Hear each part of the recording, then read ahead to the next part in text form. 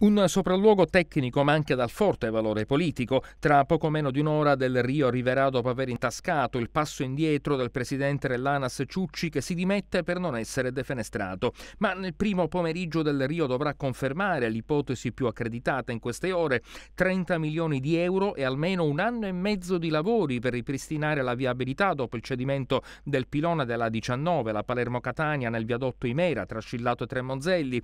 L'ipotesi è stata elaborata dopo l'ultimo incontro tra ANAS e Regione Siciliana.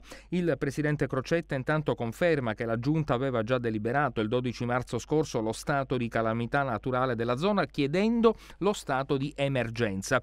Il nodo a questo punto resta quello dei finanziamenti che dovrebbero essere a carico di ANAS e Stato attraverso i fondi della protezione civile, ma soprattutto dei tempi. Due mesi per individuare un percorso alternativo più efficace della statale 120 e l'attesa attesa della demolizione delle quattro campate inclinate per capire se la corsia della A19 da Catania verso Palermo potrà ospitare il doppio senso di marcia. Sarebbe questa l'ipotesi ottimale, dicono i tecnici dell'ANAS. Il traffico verrebbe ripristinato mentre si ricostruisce la corsia opposta, ma le incognite restano molte, a cominciare dal fronte della frana su cui si dovrà intervenire per evitare che produca nuovi danni.